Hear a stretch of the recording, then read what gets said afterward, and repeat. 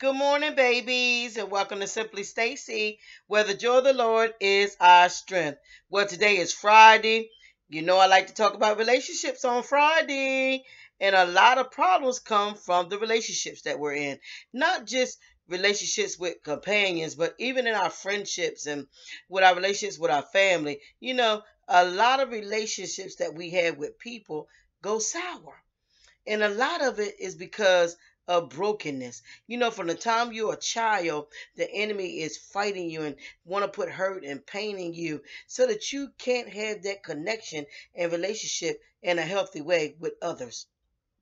And so many of you are crying out and desiring that and want relationship with another person. You're wondering why you keep having broken relationships. Some people just don't totally gave up with their mouth but not in the spirit. Some people don't gave up in both ways of thinking that they can have a good, healthy relationship with another person, even a friendship.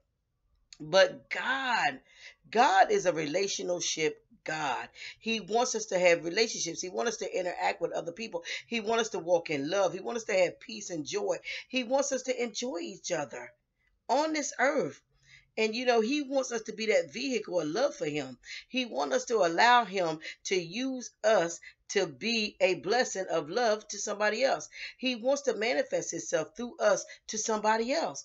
But we have to get healed. We have to get whole.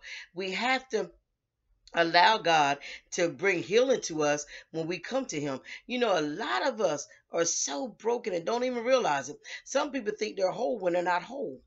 And until you come to maturity and until you go through the process of being healed and becoming whole, you're not going to be able to see it in other people that they're not healed and whole.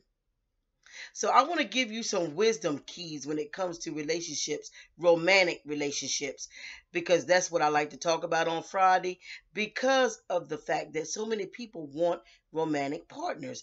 They want a relationship. They want to be married. They want to have companionship.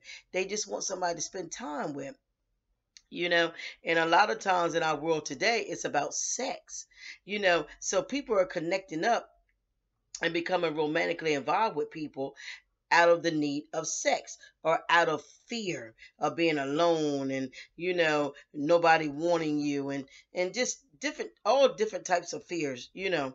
So but god wants to give you somebody. Babies and i want to let you know he has not forgotten you. And in this season of singleness enjoy it embrace it. And i know as i always say as a single person you don't heard all types of messages. You don't listen to all types of messages. I'm glad you tuned into me today. I'm glad you're listening at me. I just want to thank you for that. You don't have to. You don't have to come and listen to my videos. You don't have to come to my page, but I thank you for that. I really appreciate it. I thank that the fact that you want God. You want to do it his way. It's evident by you coming to my video because I'm going to tell you for the best of what I have of understanding and revelation that I have from God, how to do it God's way. And that's what we have to do when it comes to relationships. We have to do it God's way. If you want a godly relationship, and you have to make up in your mind that that's what you want. You know, because so many people say they want things, but in the end, they really don't want it. So you have to really make up in your mind that you want to do it God's way that you want a godly relationship.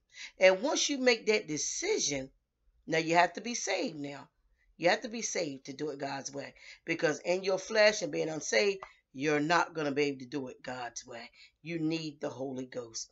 But once you have salvation and you're in the kingdom of God and have a relationship with God and you desire to do things God's way, like so many people do, we desire to do it God's way.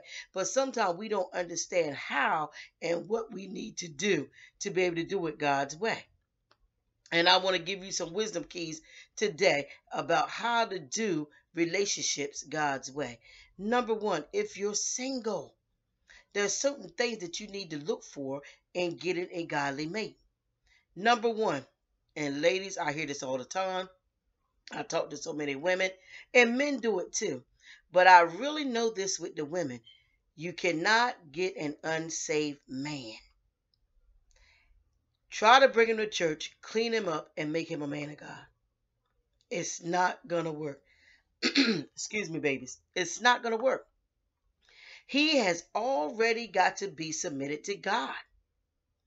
You know, because if you go get this man and he's unsaved, you try to bring him into the church, cause him to be a godly man, because that's what you want to do. You get frustrated. I see it over and over again with us women.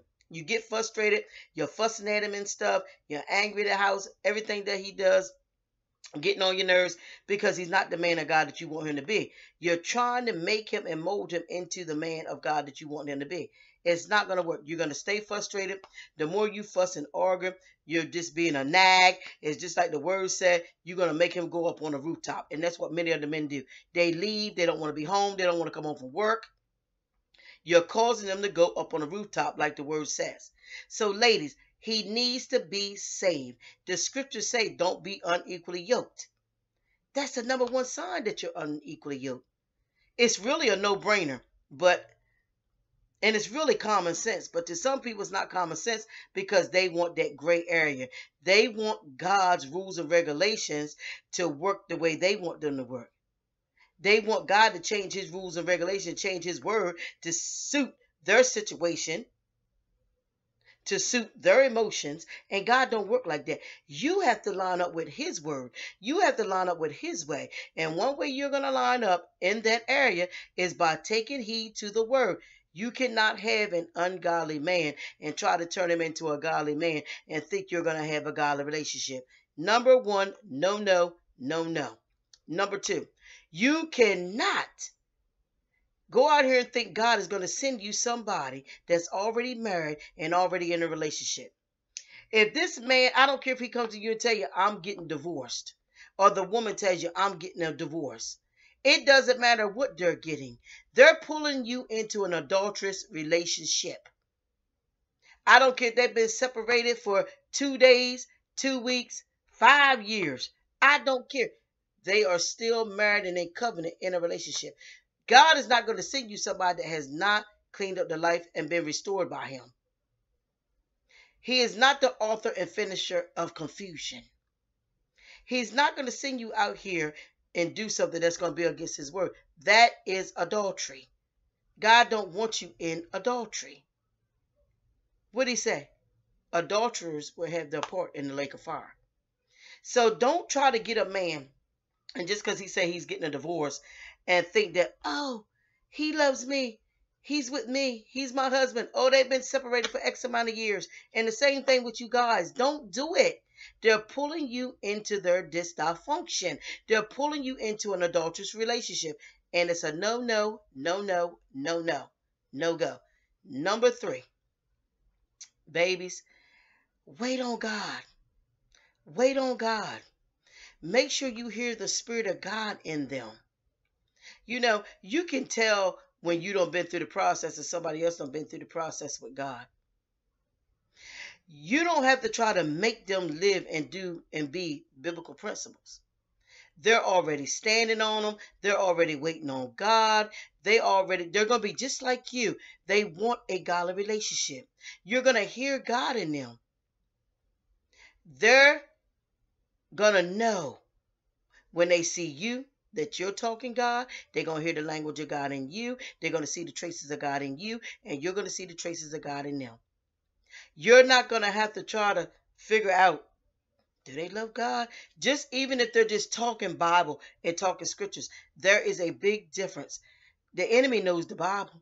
The enemy quotes scriptures. You can look at TV and hear that every day. But to walk it out and to live it out is a whole different situation, a whole different story.